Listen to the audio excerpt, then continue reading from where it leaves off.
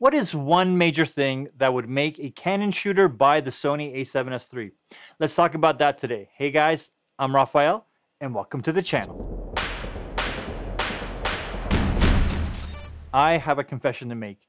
I have shot with the Sony a7S II for years. I've actually shot with a whole bunch of Sony cameras, the f9s, the f7s, and the f5s. All great cameras. But I've personally enjoyed using the Canon cameras and have had them for the past decade. I used to work for a company that did lots of large live event work that required the low light capabilities of the a7S II. It handled the low light environments so well. The photo quality was terrible, so it was mainly our event video capture camera and the behind the scenes camera. No other camera could compete, period. Here's why this is so important in the live event space. When I was still in school, I did lots of wedding videos. And back then, there was no such thing as a low light camera. If the bride and groom wanted mood lighting at the reception hall, well, no luck.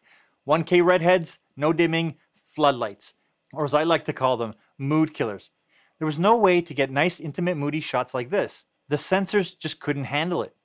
When I was working for the live event company, they did lots of holograms. So it was lots of light sensitive events. The light needed to be controlled for the audience to have the best possible experience. But we also found that regardless of the topic, almost every large event had lighting design that was moody and really crafted for the event. It was designed with the guest experience in mind. Lighting was for their eyes, not for the cameras. So much of our behind the scenes really benefited from the a7S II. It was HD, but nearly all the footage was usable. No other camera was able to give us this kind of performance.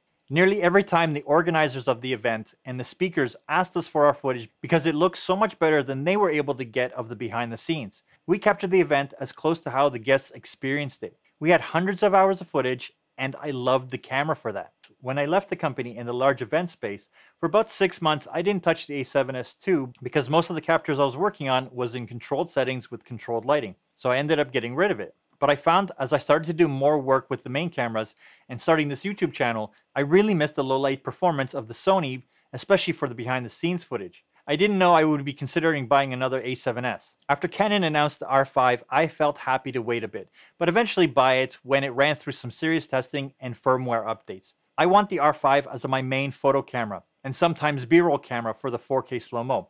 I have all the lenses, I have the accessories, it's an easy decision for me. I knew it was coming and I sold my 1DX Mark II. Then a week later, Sony announced the a7S III, and my goodness, this is the ultimate live event and behind the scenes video camera. I have decided to put the R5 on hold for the time being and get the Sony first.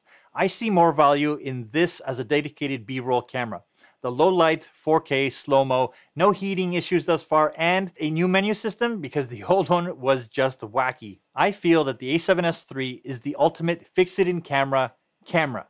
I have spent way too much time fixing the noise and the shadows from the EOS R and really had to find the limit that I could push the camera before too much noticeable noise was introduced.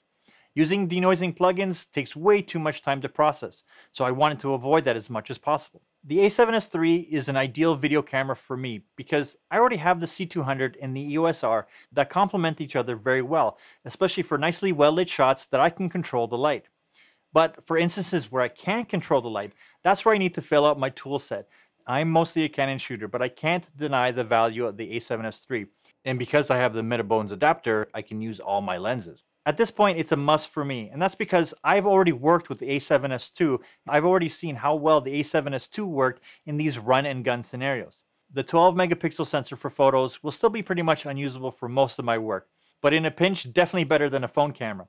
And if the photos are only going live online, Instagram, Facebook, or website, they'll probably work really well. I can't say that I was ever happy with the a7S II photos. They always felt low res for my taste. The EOS R will continue to be my main photo camera until I get the R5 with that huge sensor.